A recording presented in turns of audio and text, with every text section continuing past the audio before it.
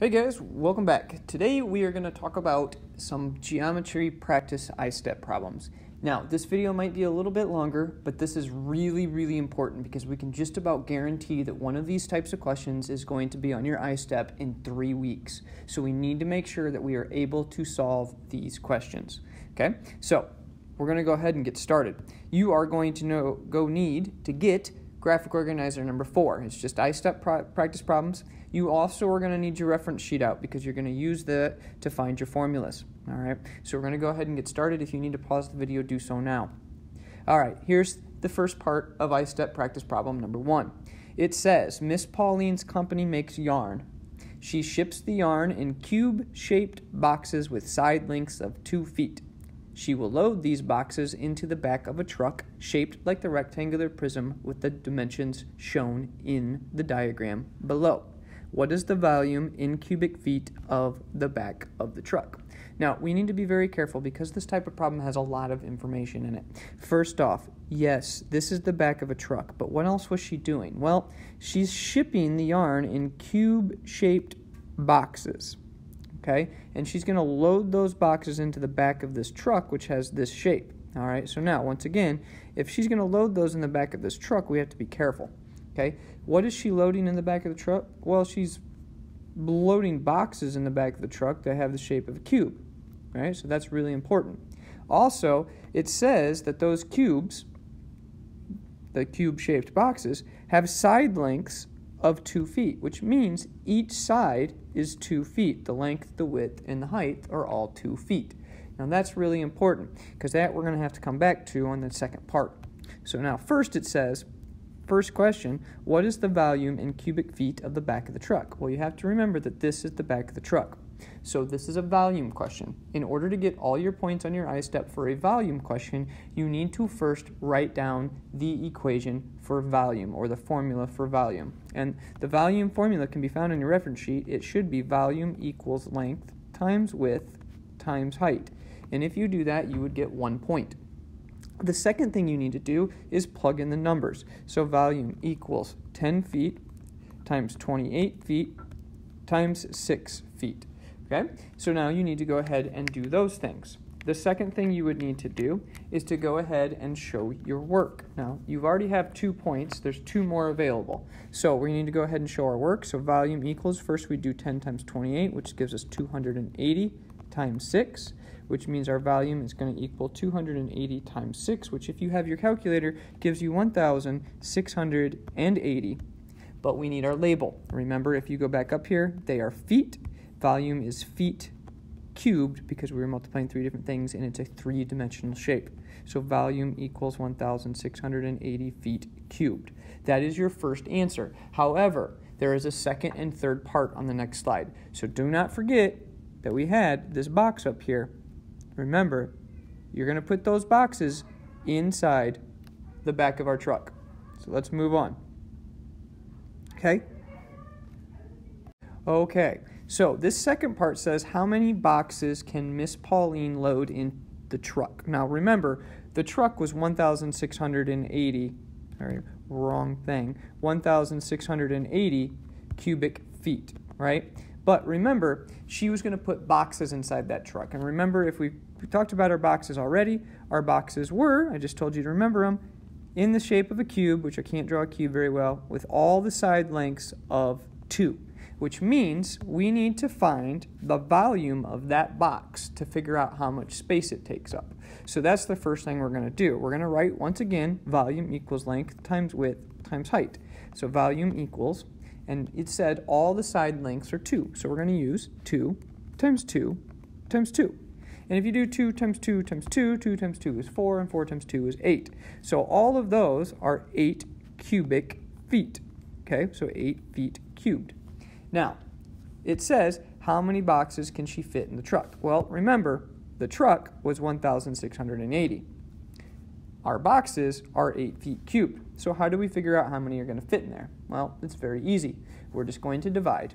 We're going to take 1,680 and we're going to divide that by the 8 to determine how many will fit in there. If we do that, we'll find out that 2, I'll go ahead and keep to dividing, bring down my 8, 1, bring down my 0, 210. Okay? 210 boxes. So the answer is 210 boxes. So remember, my back of my truck, then I have little boxes are going in the back of the truck and I can fit 210. And now I have my third part. Miss Pauline packs 60 balls of yarn in each cube shaped box. How many total balls of yarn can Miss Pauline load in the truck? Well, we already know that she can put 210 boxes in the truck and what it says is each box has 60 balls of yarn. So if each box has 60 balls of yarn, we need to go ahead and multiply 210 times 60 to figure out how many total will fit inside the back of the truck. So remember, each box has 60. We have 210 of them. If you multiply those together, you're going to get 12,600. And your answer is 12,600 balls of yarn. Now, notice everything that I did. Yes, I used a calculator for some of it, but everything I did I wrote down and showed. Remember, every time I did a find, found the volume, I wrote down the equation, I plugged the numbers into the equation, and then I solved and made sure that I put my labels. Ladies and gentlemen, these are your practice I-step problem number one. We're going to continue. I'm going to show you two more. I'm going to go a little bit faster this time. Let's move on. Practice problem number two. It's a very similar problem. The big toy company is determining how many individual toys will fit in the shipping box shown in the diagram below. Each individual toy package is a cube with a side length of 4 inches. Wait, cube, side length of 4 inches. Once again, here's our cube, and it's saying all the sides are 4, which means, hmm, we want to figure out how many of these guys fit into the big box. That's the same thing we just did on the last one. So, how many individual toy packages will fit in the shipping box? Well, we can't really do that unless we find out the size of the big box first. So let's show our formula and figure out our work. So it says show all our work. Well, the volume of the big box is 12 times 20 times 28. All right, so you're gonna go ahead and, oops, and I I messed up. I already missed a point. I need to say volume equals length times width times height. Volume equals 12 times 20 times 28. Okay, and you're to go ahead and multiply those together. 12 and 20 is 240, and 240 times 28 is going to give us a very big number of 6,720. And you might want to just double check, make sure, plug it into your calculator again, make sure Mr. Williams is correct, but I am. Okay, and it our label is inches cubed this time. So we need that first. So that's an important number. Now, we also need to find the volume of our little boxes to figure out how many can go inside. So we're going to take volume equals length times width times height. Volume equals 4 times 4 times 4, which that's 64 inches. Remember it says up there on the top it's inches, 4 inches, inches cubed. Now we need to figure out how many 64s fit in 6,720. So what are you going to do? Well, very simple. You're going to go ahead and divide 6,720, and you're going to divide that by 64, and you should get a total of 105. So how many of those boxes are going to fit in the big box? 105 boxes. That's how many. And that's actually your answer. If there's a space for you to put it in, that's what you should do. It's 105 boxes. Ladies and gentlemen, that was example two. I have one more. Now, this one is more like what iStep will do to you. They took away all of the pictures. So now you have to visualize what's going on. So, Ben's baseball team is packing up bats into boxes to take with them to the state tournament next weekend. So they have a bunch of bats, they're going to put them in boxes. Each bat box, so each box, has measurements of 3 and an eighth, 4 and 3 fourths, and 1 and 2 fifths what is the volume of each bat box? So part A says we need to figure out that volume. So part A, we're going to do volume equals length times width times height. Volume equals 3 and an eighth times 4 and 3 fourths times 1 and 2 fifths. Now, ladies and gentlemen, you are allowed to use a calculator, but your calculator will not be able to do fractions on your I-step. Now, you can go ahead and multiply them like you normally would in, by turning them into improper fractions, or you can do what I'm about to show you, which is simply changing those fractions into decimals. That's 3.125 times 4.75, and that we're going to multiply that by 1.4. And I know that because I know how to change my fractions to decimals. So I'm going to go ahead and put that number into my calculator. You don't have to, you can do it a different way. But I'm going to put it in the calculator because then it makes it easier for me and I can double check it. And that's going to get me some really, really big number. And I'm going to be honest with you, that didn't work very well because I get 20.78125. Yuck. That's weird. Okay. So instead, I'm going to go ahead and do what I showed you and what I thought I could do.